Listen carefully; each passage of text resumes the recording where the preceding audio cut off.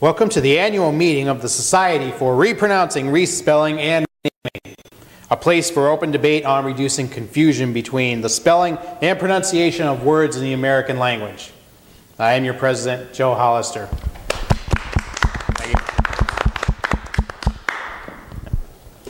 Now, last week we began a discussion about whether business should remain being called business or whether it should be changed to biz-iness. Do we have any discussion more on this or shall we simply proceed? Enough talk, let's put it to a vote. I second that. All right then. All in favor of changing the word business to biz-iness, say aye. Aye. Motion passed. Now, do we have any new biz-iness?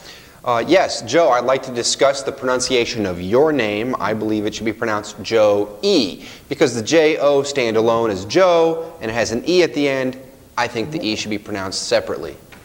Yeah, he's Wait, right. Let's put it to a I, vote. wait, I don't know about that. I mean, it's, Vote! Vote! Vote! wait, wait, uh, vote, vote. All right, all right. We'll put it to a vote. All in favor of changing my name from Joe to Joe E, say aye. Aye. Motion passed. Well, I guess I am your president, Joe E. Hollister. What about the waiting- I in Hollister? I mean, shouldn't it be Hall Eister? Yeah, yeah. Hall Eister.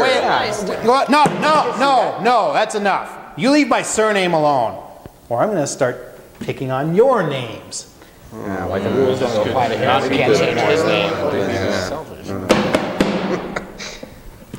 Well, all in all, this is going pretty well. Not quite as bad as last week when we got all tied up on that bare, bare nude thing, whatever that was all about. Do we have any other new biz-iness? Yeah, I, I'd like to discuss a change to the word weather. Weather. which, which weather, uh, wind and rain, or whether or not to change the pronouncing of whether or not?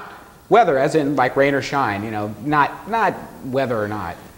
No, no, no, no, no, because then you'll get all the seasons confused. Oh, you won't come know on. if it's summer, or if it's spring, or if it's autumn, I thought this or whole if it's thing was all rain, about No, no. or if it's Guys, punch it out. is it going to be spring, or what is it going to be?